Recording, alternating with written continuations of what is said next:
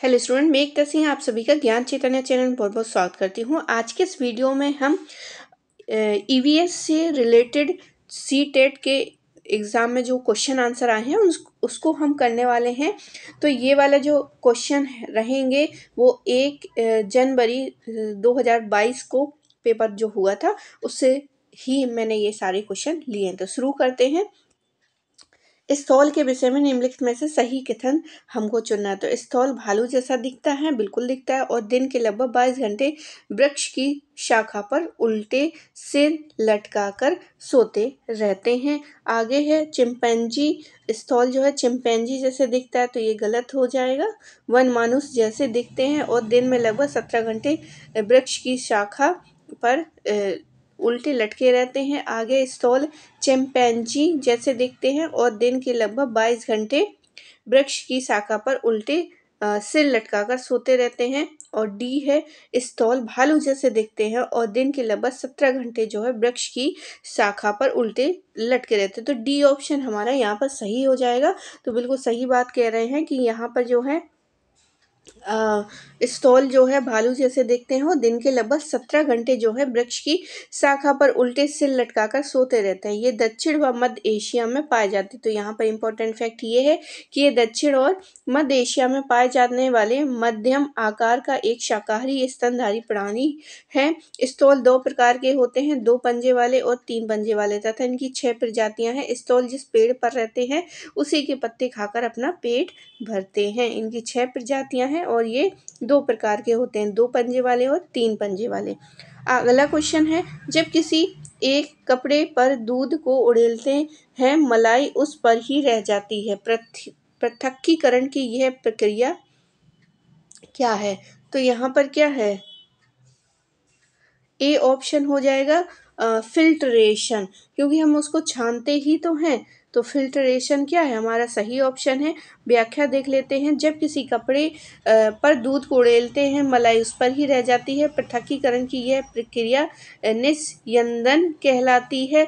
यह प्रक्रिया, जिसमें ठोस कणों को किसी द्रव या गैसीय पदार्थ में से फ़िल्टर पेपर की सहायता से पृथक किया जाता है। सो तो उसे निस्यंदन कहा जाता है। इस प्रक्रिया में जिस फ़िल्टर पेपर का उपयोग होता है वह ठोस कणों पर को पार नहीं करने देते और द्रव या गैसीय कणों को आसानी से पार होने देते हैं, जिससे ठोस कण और द्रव्य के कण अलग अलग हो जाते हैं और इस प्रकार द्रव्य जो है शुद्ध हो जाता है।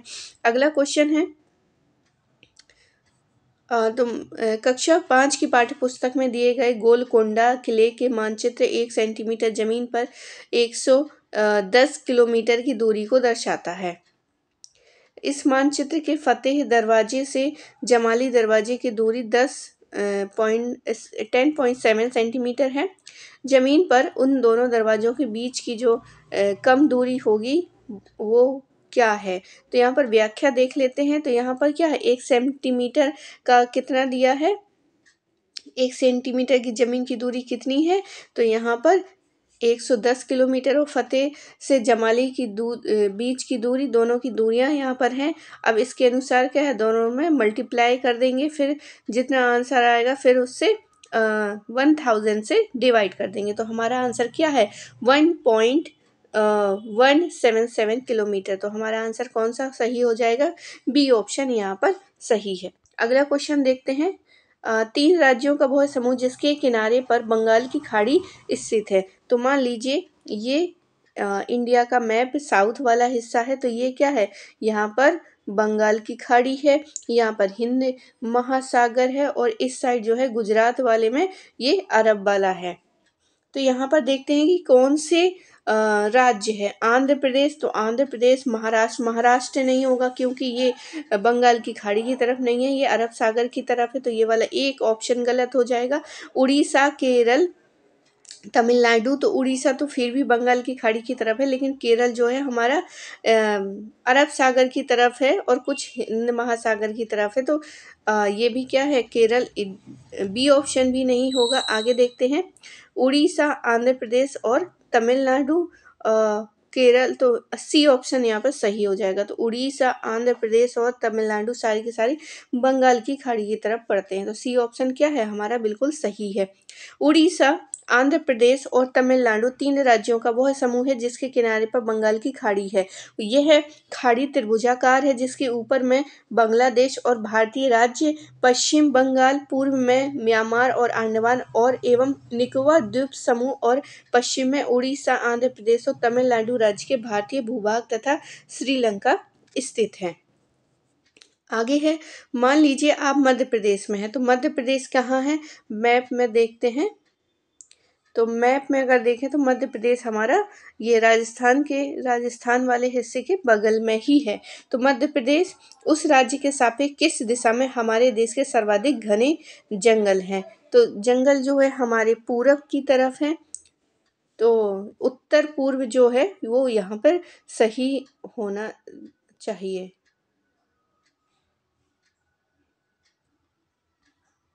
तो बी ऑप्शन क्या है? बिल्कुल सही है। मध्य प्रदेश को देश का सर्वाधिक वन क्षेत्र वाला राज्य का दर्जा प्राप्त है। अरुणाचल प्रदेश दूसरे स्थान पर है और छत्तीसगढ़ तीसरे स्थान पर। अरुणाचल और छत्तीसगढ़ मध्य प्रदेश के उत्तर पूर्व दिशा में है।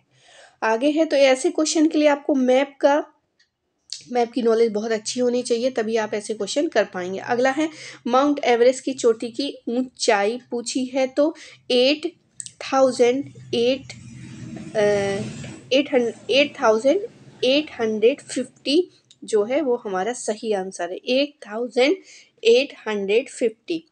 आगे व्याख्या देख लेते हैं। विश्व का सबसे ऊँचा शिखर माउंटेन एवरेस्ट समुद्र तल से लगभग eight thousand eight hundred fifty ऊँचा है। ये हिमालय की चोटी है। इसे नेपाल सागर माथा यानी स्वर्ग का शीर्ष नाम से जानते हैं। विश्व का सबसे गहरा भाग जो है प्रशांत महासागर का मेरियाना गर्त है, जिसकी गहराई जो है eleven thousand thirty four metre है। आगे देखते हैं अगला क्वेश्चन टूट टूटता तारा होता है। तो टूटते तारे को हम उल्का कहते हैं। टूटते तारे को हम क्या कहते हैं? उल, उल्का उल्का कहते हैं टूटता तारा उल्का पिंड या गैसीय पिंड होता है।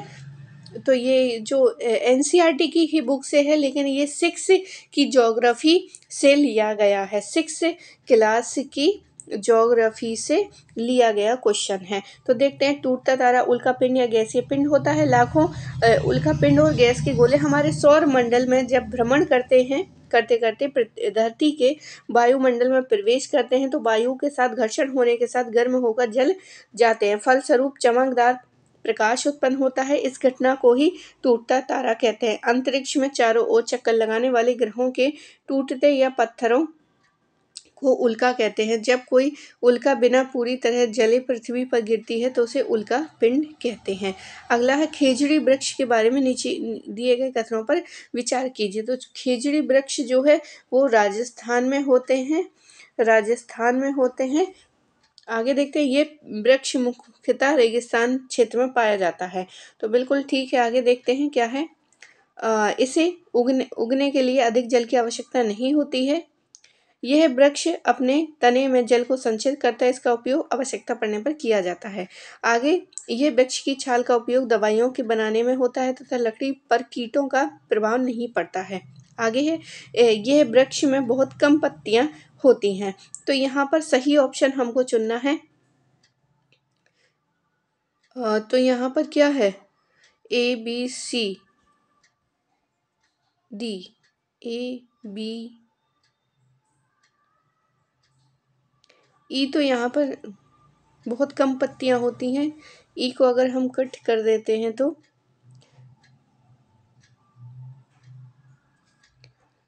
तो यहाँ पर क्या है? ए ए, बी और डी जो है वो हमारा सही है।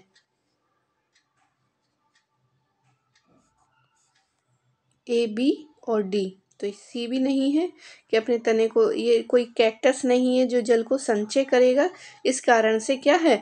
ए बी डी हमारा सही ऑप्शन हो जाएगा। आगे देखते हैं।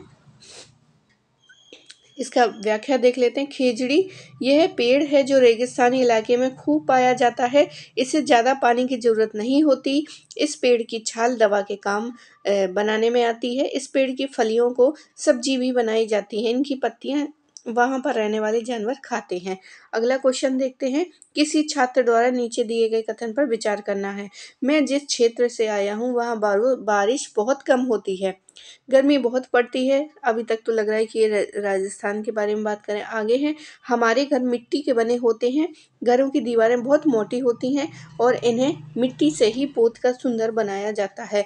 घरों की छतें कटीली झाड़ियों से बनाई जाती हैं। तो यह छात्र जो है निम्नलिखित में से किस राज्य से आया हो सकता है? तो बिल्कुल राजस्थान है ऑप्शन में तो सी ऑप्शन क्या है हमारा? सही हो जाएगा। आगे देखते हैं। अब इसको, व्याख्या में भी वही दे रखा है तो इसको आगे बढ़ जाते हैं। अगला क्वेश्चन है, किसी सभा में अपना परिचय देते समय किसी छात्र के कथन का विचार कीजिए। मैं जिस जगह से आया हूँ, वहाँ के अधिकतर लोग सरसों सरसों से बनी मछली पकी खाना पसंद करते हैं। तो सरसों की बनी मछली कहाँ खाना पसंद करते हैं? ये जो समुद्र के किनारे वाले हैं, वहाँ सब नारियल के तेल से बनी मछली खाते हैं। तो ये गोवा नहीं हो सकता, केरल नहीं हो सकता मिजोरम नहीं होगा, बाकी कश्मीर जो है, ये सही आंसर हो जाएगा। तो कश्मीर जो है सही आंसर। आगे देखते हैं। निम्नलिखित में से सही कथन चुनना है। कोई वयस्क हाथी एक दिन में दो क्विंटल से भी अधिक हरे पत्ते और झाड़ियाँ खा सकता है। अत्यधिक भारी होने के कारण अधिकांश हाथी बहुत ज़्यादा आराम करते तो हाथी बहुत ज़्यादा सोते नहीं है, ये वाला गलत हो जाएगा। यहाँ तक कि तीन महीने की आयु के बच्चे का भार जो है दो सौ किलोग्राम होता है। अधिकांश हाथी एक दिन में नौ से दस घंटे सोता है तो बहुत ज़्यादा नहीं सोता है, बाकी इसका सही आंसर महीने की आयु, महीने की आयु मतलब एक महीने की बच्चा होगा तो उसका सामान्यतः भार जो है लगभग दो सौ किलोमीटर किलोग्राम होगा। आगे देखते हैं। बाकी उसकी व्याख्या यही है कि एक वयस्क हाथी एक दिन में सौ किलोमीटर से जा किलोग्राम, सौ किलोग्राम से ज़्यादा पत्ते और झाड़ियाँ खा लेता है। हाथी बहुत आरा, बहुत कम आराम करता है। ये एक दिन में केवल दो या चार घंटे ही सोता है। हाथी को पानी और कीचड़ से खेलना बहुत पसंद है। इससे उसके शरीर को ठंडक मिलती है। उसके कान भी पंख की तरह होते हैं। गर्मी लगने पर पंख आती अपने कान को हिलाकर हवा करता है। अगला क्वेश्चन है, एक समूह को चुनिए जिसका प्रयोग पुनः चक्रण के पश्चात किया जा सकता है। मतलब यहाँ पर ऐसी ची, चीज़ें दी गई हैं जो एक बार यूज़ करने पर भी हम दोबारा उसका यूज़ कर सकते हैं। रीसाइकिल के द्वारा को कौन कौन से? पॉलीथीन बैग एक बार ही यूज़ होता है इनका, फिर यूज़ नहीं होता। आगे है चादरें समाचार पत्र, प्लास्टिक की बोतलें और बैटरी। आगे है तो ये तो नहीं है लोहे की कीलें, कांच की बोतलें, स्टील मग और गत्ते का डिब्बा। आगे चमड़े का बैग, लकड़ी का मेज, प्लास्टिक फूलदान, चादरें। तो यहाँ पर जो सही आंसर है वो तो सी ऑप्शन लग रहा है। सी ऑप्शन सही है। लोहे की कीलें बिल्कुल रिसाइकिल हो जाती हैं। कांच की बोतलें भी कबाड़ी वाले ले जाता है।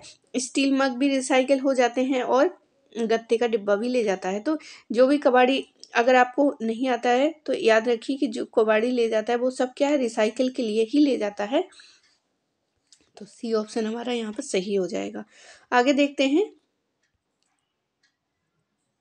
निम्नलिखित का मिलान करना है, छोले भटूरे छोले भटूरे कहाँ खाते हैं? तो छोले भटूरे पंजाब में खाते हैं।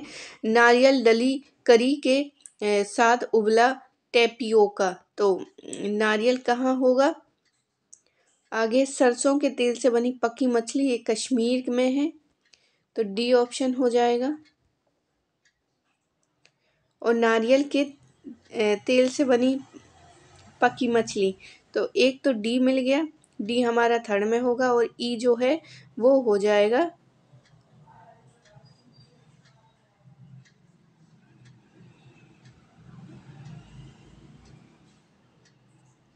ई e वाला ऑप्शन पंजाब जो है पहले में है तो पहले में ई e है और पहले में ई e है सरसों के तेल से बनी मछली, ये हो जाएगा कश्मीर। तो डी तीसरा डी है, तीसरा जो है डी है। तो ए ढूंढना है तो एक इसमें डी है और इसमें डी है लेकिन स्टार्टिंग में ई जो है वो एक में ही है तो हमारा डी ऑप्शन क्या है? यहाँ पर सही हो जाएगा। बाकी ऑप्शन में यही है देख लीजिए। आगे है आ, अपनी कक्षा फोर्थ के पर्यावरण अध्ययन के विद्यार्थियों के रचनात्मक आकलन के लिए उपयुक्त कार्य का चुनाव कीजिए। पहले है मतलब यहाँ पर जो रचनात्मक आकलन के लिए उपयुक्त कार्य जो है वो यहाँ पर डिसाइड करना। तैरने और डूबने के पाठ पर प्रश्नोत्तर लिखना। अब तैरने और डूबने पर कोई प्रश्न उत्तर लिखेगा तो क्या उसको सीख, उसको समझ में ज़्यादा आ जाएगा? आगे डूबने और तैरने की प्रक्रिया का अवलोकन करने के लिए क्रियाक्रम तो डूबने और तैरने के लिए कि जो भी तैरते हुए देखे और डूबने उसका आकलन करे और बातचीत करे। तो ये काफ़ी हद तक सही है। तैरने और डूबने की परिभाषा व्याख्या तो रटने वाला कुछ भी नहीं होना चाहिए। आगे है, जो वस्तुएँ डूबती और तैरती हैं, उनकी सूची बनाना है और याद करना याद करने वाला भी नहीं होगा और कोई व्याख्या, परिभाषा याद नहीं करनी है। हमको यहाँ पर उसको सिखाना है कि कैसे डूबता है और और उस पर डिस्कस करें। तो बच्चे को ज़्यादा समझ में आएगा तो बी ऑप्शन क्या है? बिल्कुल सही हो जाएगा। आगे देखते हैं, यहाँ पर वही चीज़ें हैं। एक बार देख लेते हैं कक्षा फोर्थ के पर्यावरण अध्ययन में विद्यार्थी के रचनात्मक आकलन के लिए डूबने और तैरने की प्रक्रिया का अवलोकन करने के लिए क्रियाकलाप करने का उपयुक्त है। आ, सीखने के आ, सीखने के लिए रचनात्मक आकलन या मूल्यांकन में शिक्षण की प्रक्रिया में जाँच और संतुलन का एक निरंतर तरीका शामिल है। यह विधि शिक्षकों को अक्सर अपने शिक्षार्थी की प्रगति और अपने स्वयं के अभ्यास की प्रभावशीलता की जाँच करने की अनुमति देता है। अगला क्वेश्चन है। पर्यावरण अध्ययन के शिक्षण में कला एवं कौशल का समावेश करना चाहिए, क्योंकि यह प्रोत्साहित करता है। तो यहाँ पर कौन सा होगा? क्रिएटिविटी बिल्कुल होनी चाहिए। पीयर लर्निंग अपने मतलब सहपाठियों के साथ सीखना।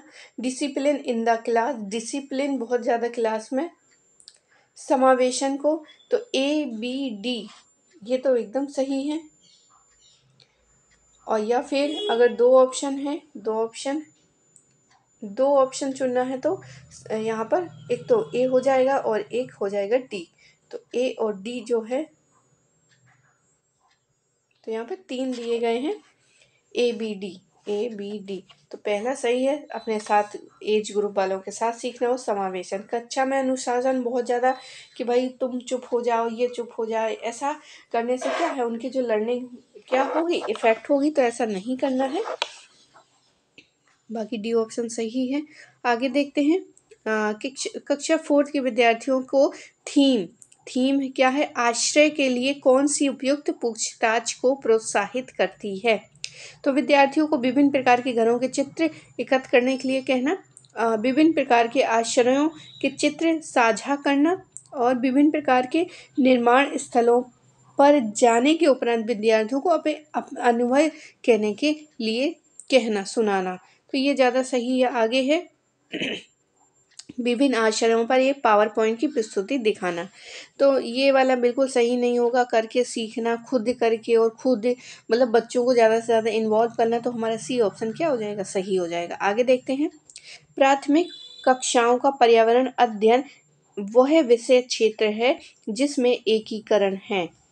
तो इसमें सही विज्ञान इसमें क्या पूछा है कि प्राइमरी लेवल पे जो पर्यावरण अध्ययन का विषय है, उसमें क्या चीज़ें एकीकृत की गई हैं आपके इन्वायरमेंट में? तो विज्ञान और पर्यावरण, शिक्षा के संप्रत्यों और मुद्दों को, सामाजिक विज्ञान के संप्रत्यों एवं मुद्दों को तो सब गलत है यहाँ पे। विज्ञान और सामाजिक विज्ञान के संप्रत्यों एवं मुद्दों को आगे है।